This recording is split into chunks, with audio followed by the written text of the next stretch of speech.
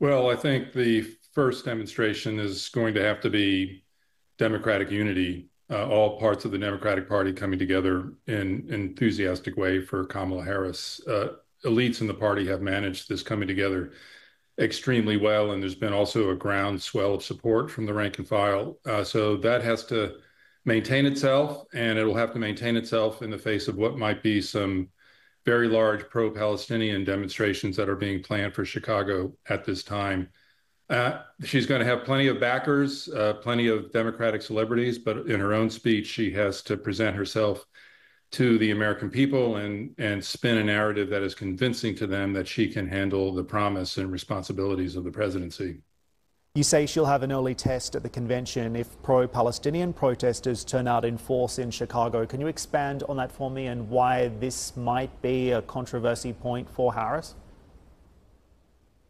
Well, a portion of the uh, Democratic base uh, has been very angry with Biden and, by extension, Kamala Harris about insufficiently taking up the issue of death of so many civilians in Gaza, and they want at very at the very least an immediate ceasefire, and beyond that, they want a halt to military shipments to Israel.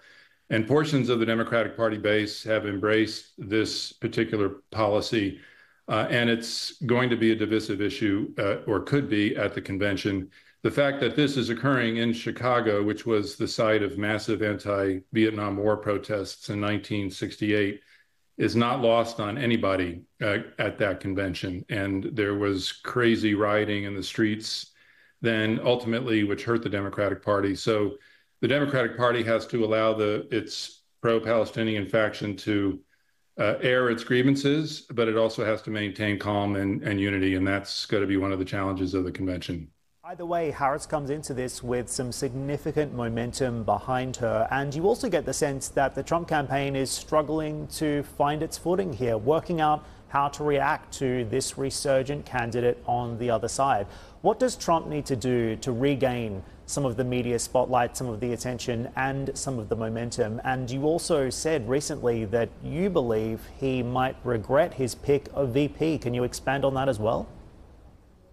Well, he picked J.D. Vance at a moment when the all the polls were showing a great uh, pointing toward a victory for Trump, where Biden was being rejected by huge numbers of Americans, and he felt that either Biden was going to continue and be a weak candidate, or Kamala Harris would be his replacement, and she would be very, very weak as well.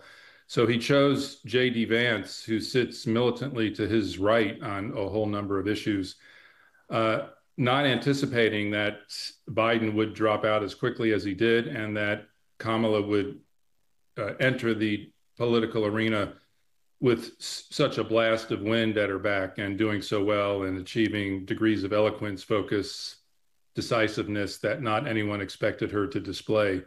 If he had known that this kind of challenge was coming, if she had known, if he had known that she was going to generate this kind of support among Democratic voters and people beyond Democratic ranks, I think he would have uh, chosen someone to his left, uh, at someone at the center. If you imagine him choosing someone like Nikki Haley, I think he would have walked into the White House because the election is going to be very close and it's going to be likely decided by um, uh, small slivers of moderate, uncommitted voters. And uh, Vance is going to have trouble getting Trump those voters. He chose Vance at a moment of great hubris in a way. He thought the election was sewn up, and he said, "Let me just go ahead with my instincts uh, and my values, and we're going to double down." He should have been shrewder about this, choosing someone to guard against a kind of Kamala event. You know.